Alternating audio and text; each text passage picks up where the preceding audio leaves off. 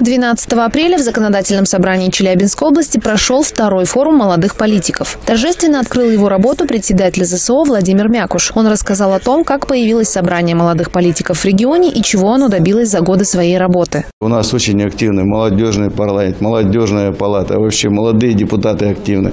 Есть наработки определенные, есть опыт, которым можно поделиться, есть планы, которые нужно реализовывать. Тем более, что после послания президента России Российской Федерации. Сегодня для молодых открыт простор и дорога в дерзании, в творчестве, в решении тех проблем, которые стоят перед нашей страной. На форуме встретились члены собрания молодых депутатов Челябинской области, молодые депутаты Уральского федерального округа и члены Палаты молодых законодателей при Совете Федерации РФ. В ходе заседания коллеги обменялись опытом. Главной целью встречи стала подготовка предложений в национальный проект «Десятилетие детства», учрежденный указом президента Владимира Путина. На форуме прозвучали доклады уполномоченных уполномоченного по правам ребенка в регионе Ирины Буториной, заместителя министра здравоохранения области Виктории Сахаровой, первого заместителя министра образования Елены Коузовой. Они говорили о том, как защищаются права детей, об организации медицинской помощи, дошкольного и общего образования. Вся педиатрическая служба Челябинской области в целом не изменилась. Она имеет сегодня трехуровневую систему. Детей у нас в области с вами стало больше на 17 155 человек, но, к сожалению, детей до года сокращается в связи с снижением рождаемости меньше на 4,5 тысячи. Сегодня уже об этом говорилось, и мы вступаем в первый год э, десятилетия детства. Да, это правоприемный документ, да, мы продолжаем стратегию и концепцию э, политики детства, которая реализовывалась в предыдущие годы. И десятилетие детства, по сути, это продолжение того, что заложено государством в понимание политики в сфере детства. О роли религиозных организаций в воспитании подрастающего поколения рассказал митрополит Челябинский Мяский Никодим. После выступлений состоялось заседание Палаты молодых законодателей при Совете Федерации, а затем с политиками пообщался заместитель губернатора Челябинской области Евгений Голицын. В рамках форума для гостей организовали экскурсии на предприятии города Челябинска, а также на конно-спортивный комплекс «Рифей» Сосновского района. В работе форума приняли участие молодые депутаты нашего муниципалитета. А 19 апреля в Пласе состоялся межмуниципальный форум членов членов партии «Единая Россия». В нем приняли участие депутаты Заксобрания, активы первичных местных отделений, молодежь, лидеры с территорий. Главной темой политической встречи стало послание президента, озвученное Федеральному собранию 1 марта 2018 года. Действительно, мы за эти годы добились э, устойчивость в экономике, есть определенный рост. Наше общество стало более зрелое, демократия более прозрачная. Мы научились общаться, научились управлять веренными нам э, объектами, э, научились выбирать. У нас появилась какая-то такая общественное самосознание и политическая зрелость. Делегацию Верхнеуральского района возглавил глава муниципалитета Сергей Айбулатов. Участники форума детально обсудили послание Владимира Путина. Руководитель Пластовского района Александр Неклюдов отметил, что важно не просто говорить о послании, а применять его на практике.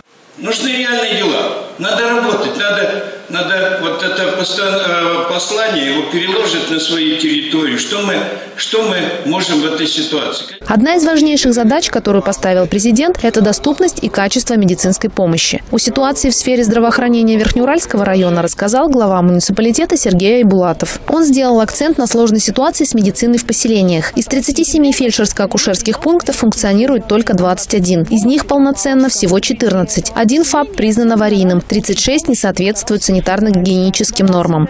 Какую вижу основную проблематику? Это, конечно, дефицит кадрового состава. Значит, э, второй основной момент – это ограниченная транспортная доступность. Среднее расстояние, я уже говорил, значит 9 километров, до районной больницы 40 километров.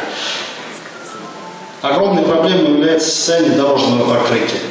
То есть у нас в районе больше 300 километров дорог, значит, э, и сегодня 371 километр областных дорог, 130 районных дорог, километров я имею в виду, все они, э, вот Юрий с Константином не так давно были, проезжали, значит, э, все они, ну, не совсем хорошем состоянии. Первый заместитель председателя законодательного собрания Юрий Карликанов спросил у глав других районов, как у них обстоят дела с ФАПами в поселениях. Оказалось, что у всех такая же ситуация. Скажи, такая ситуация с ФАПами во всех территориях?